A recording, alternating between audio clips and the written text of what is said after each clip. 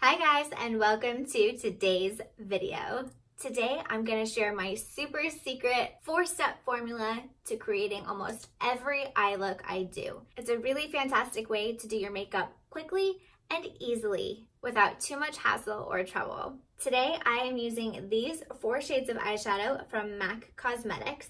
They are four of the shades that I use all the time in my everyday makeup, but I really just want to share with you guys the basics of this super simple formula that can be translated into any shades, any color combination, any part of the rainbow to give you whatever look you desire, starting with this view as four shades. The key to this formula comes in two parts. The first part is how to pick your colors. The second part is in what order to apply them. Today, I've lined up these four shades in order of application to give you an idea.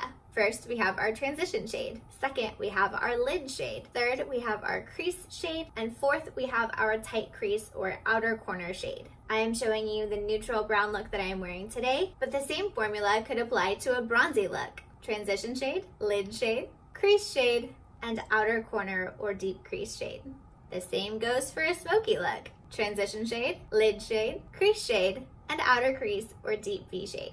As you've probably guessed, my transition shade is the same for almost any look that I create. I use this particular shade because it is very similar to my skin tone and the natural shadows in my face.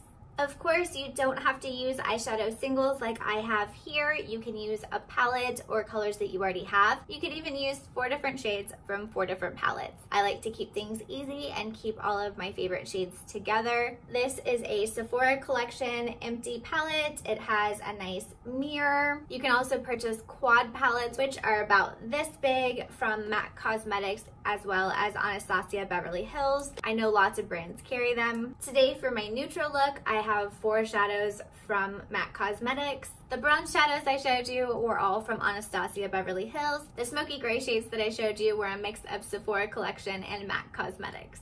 Sephora Collection individual shadows are $8. MAC Cosmetics individual shadows are $7. Anastasia Beverly Hills shadows are $12 a piece unless you buy them in sets of four. Of course, you can choose the four shades yourself. They do not come curated, but if you purchase four at the same time with an empty quad palette, you get the palette for a dollar and the shades for $8 each. I know I just showed you three very basic looks, your natural nude, your bronze goddess, and your smoky silver. But you can also apply this formula to pinks, greens, blues, purples, any shade that your heart desires. Just use your transition shade in your crease, a lighter shade on your lid, a bit of a darker shade in your crease, followed by your darkest shade in your outer crease or your deep V. Feel free to go wild with your looks. Let me know in the comments below what colors you are wanting to use or what you think of this method. Before I get started sharing today's look with you, as well as the rest of my super easy formula for fantastic eyeshadow, don't forget to hit the like button, subscribe, and ring the bell so you know when I launch a new video. Let's get started. The first thing I do before any eye look is to prime my lids with my MAC Paint Pot in Painterly. You can apply this with your fingers, however, I use an eyeshadow brush.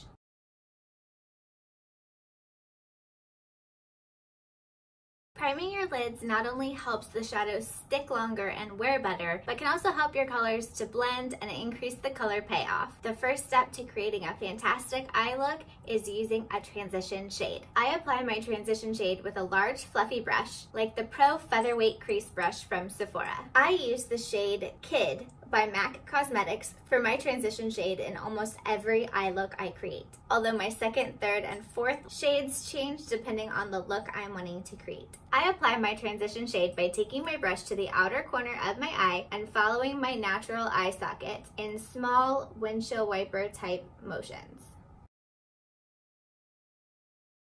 Since you'll be applying eyeshadow over this transition shade, it doesn't have to be perfect. It's just giving your eyeshadow a great backdrop. When selecting your transition shade, I suggest a lighter neutral color that mimics the shadows that naturally occur on your face. You're not wanting to add a lot of color, you just want to start adding a little bit of that depth and dimension. For my second step when creating a natural look, I take a lighter color, usually with a hint of shimmer or satin, and place it all over my lid with a flat eyeshadow brush like this one from MAC.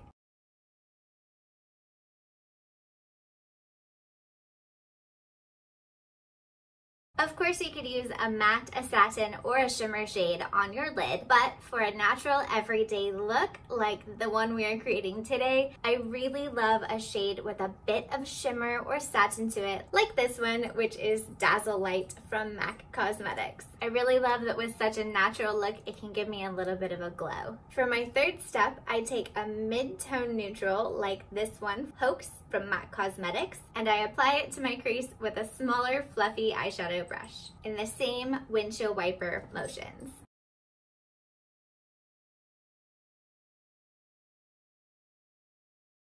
Although I do love a satin shimmer or glitter for my lid, I do not usually use a sparkle shimmer or glitter shade in my crease.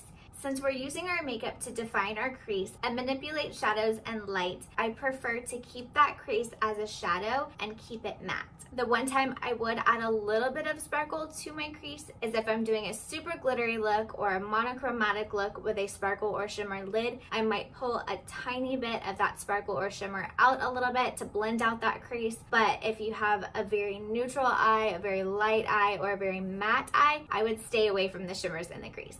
Fourth and final step for eyeshadow would be to go in with my darkest shade. For today, I have Brown Down from MAC Cosmetics, and I will apply it to the outer corner of my crease with a small crease brush.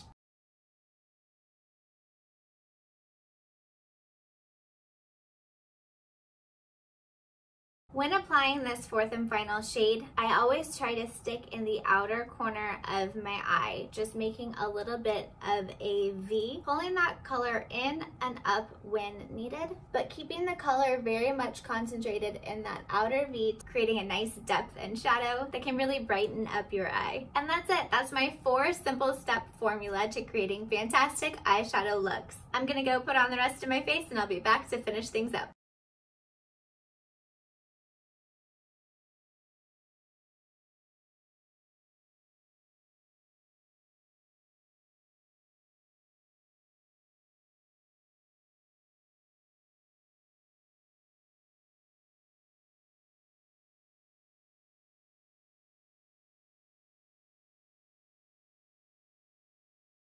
And I'm back with my final look. I really love how simple and easy it is to create a fantastic eyeshadow look with just four simple shadows, and it's such an easy formula that can be repeated with other shades and other colors. Just knowing where to apply your colors and in which order can make a big difference in your look. I can't wait to hear what you guys think of this four-step formula to a perfect eyeshadow look. Let me know in the comments below if there's another shade or color or range of colors that you would like to see with this four-step look. I'm happy to help guide you in your makeup journey. I'd love to hear if there are any other trends you guys want me to try, products you want me to try, brands I need to check out. I absolutely love being here with you guys. If you enjoy hanging out with me, don't forget to hit the like button, subscribe, ring the bell so you know when I launch a new video, and I will see you guys next time.